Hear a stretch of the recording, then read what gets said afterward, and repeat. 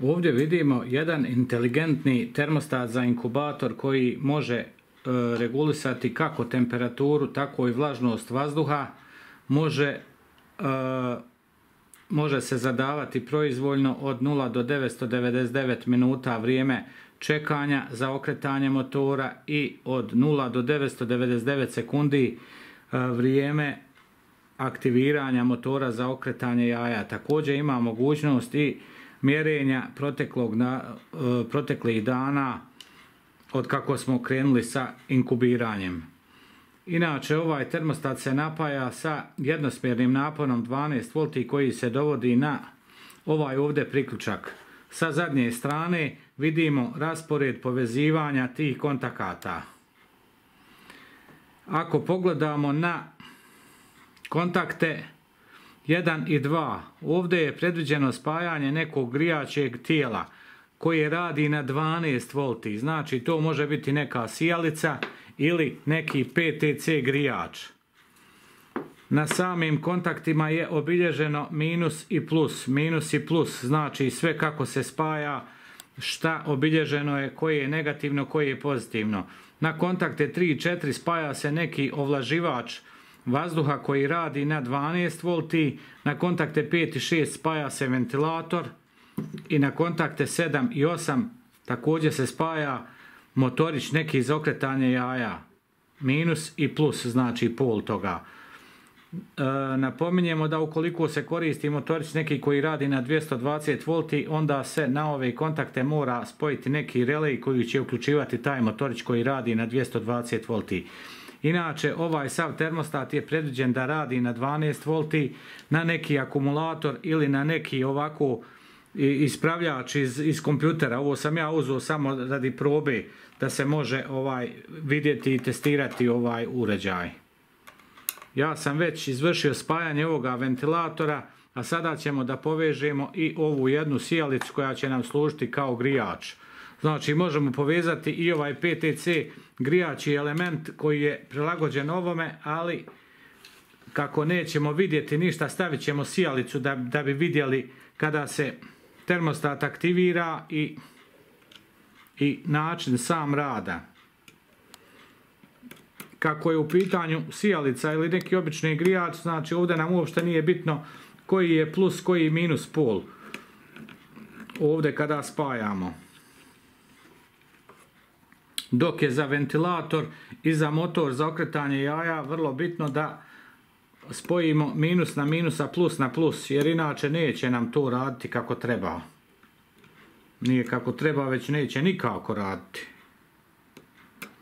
Evo sada smo spojili ovu sijalicu koja će nam služiti kao grijač u ovom slučaju da vidimo jednostavno način sam rada i podešavanja ovoga termostata. Ovu sondu ćemo osloboditi i primaći i ovoj sjelici. Evo ovako ćemo to napraviti da bi mogli vidjeti. Ovdje smo nešto postavili ispod ove sjelice da nam ne, ne izgori ovo platno dok bude grijala i sada ćemo da izvršimo uključenje ovoga termostata. Mi smo ovdje spojili jedan ovaj ženski džek i na srednju ovu, na srednji ovaj izlaz dolazi nam plus na ovu unutrašnju nožicu, znači vanjska je minus. Kada smo sve povezali, vršimo uključivanje termostata. Kako je temperatura ispod ove podešene minimalne koja smije biti, automatski se aktivirao ovaj zvučni signal koji nas upozorava da je temperatura niska. Sada vidimo da temperatura lagano raste na ovoj sijalici i kada dođe na zadatu vrijednost 37,8 ovaj termostat će da isključi. Da bi ubrzali ovo zagrijavanje, ovaj termostat, ovaj ventilator ćemo malo izmaći u stranu jer ovo je samo testiranje da se vidi princip rada i povezivanja istog. Inače ovo samo napajanje može se spojiti i sa zadnje strane, pokazat ću vam i kako. Znači mogu se zaletovati direktno ove dvije žice, zalemiti ovamo da ne ide napajanje sa prednje strane.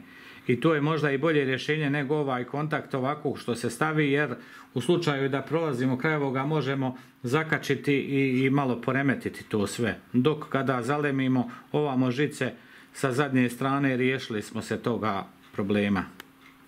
U međuvremenu, evo dok čekamo, vidimo da temperatura lagano raste kako se grije ovaj termostat uz ovaj grijači element. Inače, ovo je sjelica male snage koju sam spojio jednostavno radi testiranja, a može se spojiti od 25 pa čak i do 50 W. Ovaj, inače, je predviđeno za ove manje inkubatore, manje zapremine. Za veće inkubator ipak treba jači grijač i onda se može kombinovati sa nekim solid state relayom sam izlaz. Mi ćemo sada koristiti ovako kako je fabrika ostavila, znači da, da se može koristiti i dok čekamo da ova temperatura dostigne zadatu tu vrijednost, možemo spomenuti neke od ovih komandi. Ovdje na tipku ovu krajnju desnu uključuje se inače ova LED dioda koja služi za lampiranje jaja isto kao i u onome prethodnom termostatu koji radi na 220 V.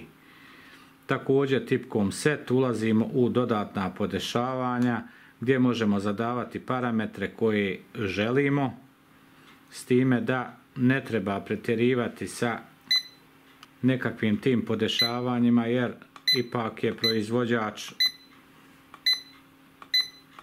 odredio te neke parametre koji su najpovoljniji za određenu vrstu te, te peradi koja se želi inkubirati.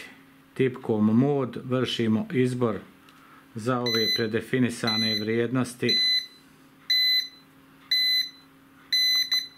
Kako je temperatura tek dostigla onu zadatu minimalnu, uključio je se alarm koji nas upozorava da je temperatura ispod dozvoljene.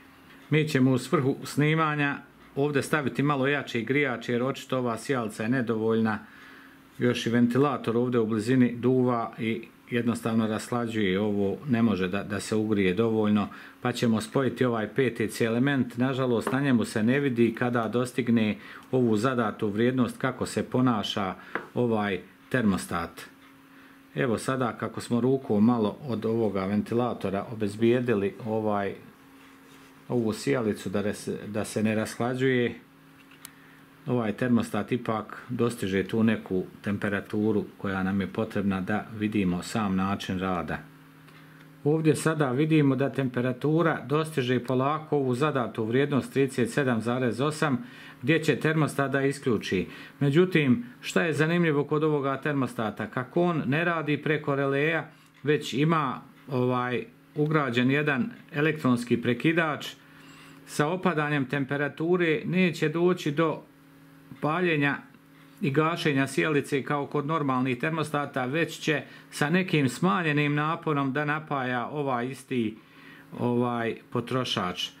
I vidjet ćemo sada kad opadne temperatura negdje za 0,2, 0,3 stepena da će ova sjelca da se uključi, ali ne sa punim sjajem, već jednostavno sa nekim manjim sjajem jer jednostavno ne dobija punu snagu. Evo vidite sada. Dok kod ovih drugih termostata ona bi se uključila automatski bi bila pod punim naponom i opterećenjem. Znači ovakvom regulacijom temperature dobijamo izuzetno osjetljiv termostat koji može zadovoljiti sve potrebe savremenih inkubatora, naravno manje zapremine. Za veće inkubatore, veće kapaciteta moraju se koristiti ovi jači, ovi jači grijači, a to ovaj termostat ne može bez dodatka nekih vanjskih elemenata kao što su solid state relay. Evo vidite sada kada je temperatura opala ispod te neke donje granice jednostavno uključena je sjelca da radi pod punim opterećenjem. To da smo spojili na ovaj grijač ovo ne bi vidjeli ovu karakteristiku ovoga termostata. Znači, e, izbor ovih modova predefinisanih je na ovu tipku mod se vrši tako što kliknemo i kada podesimo gdje želimo, jednostavno pritisnemo tu tipku i zadržimo dok se ne umiri blinkanje. I sada je podešena temperatura koja najbolje odgovara izvođenju pilića.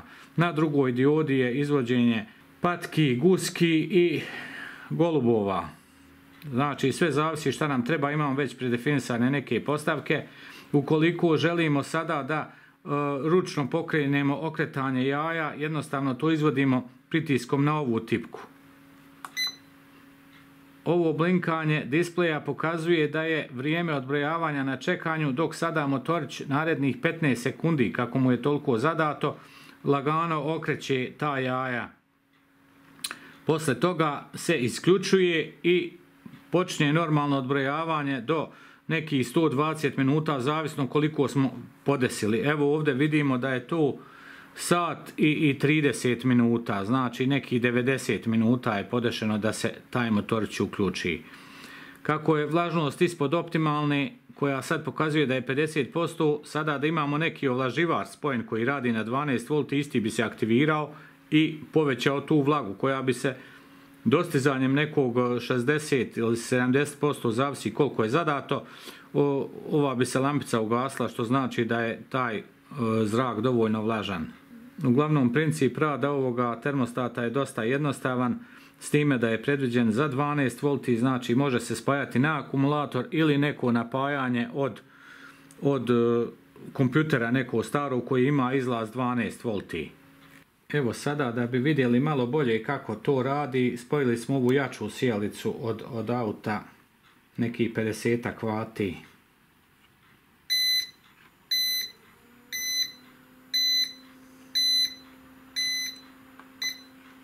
Kako je temperatura ova po uključenju odmah manja od zadate koju smo zadali za alarm, automatski se uključi ovaj zvuk. Temperatura lagano raste što vidimo po ovim po ovom odbrojavanju gore, to jest mjerenju. Kada temperatura dostigne 37,8, ovaj termostat će da ugasi ovu sjelicu.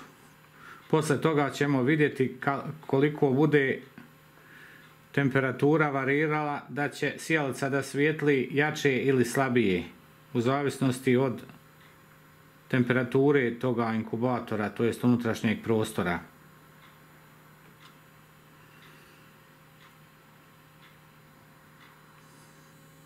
Kako je ova temperatura mikrokontrolerom regulisana, vrši se non stop preračunavanje koliko brzo se ohladi ovaj grijači element i zato temperatura ako želimo 37,8 varira od 37,9 37,8 jer vidite da grijač ne svijetli punim intenzitetom to jest sam termostat se prilagođava brzini hlađenja tog prostora ukoliko bi brže hladili ovo tijelo, evo vidite, ono se pojača odmah snaga koja dolazi na ovaj grijači element i pokušava termostat da održi tu temperaturu.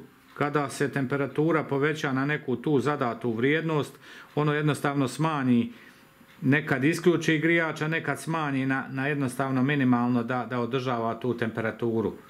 Što znači da da bi postigao taj optimalan iznos te željene temperature.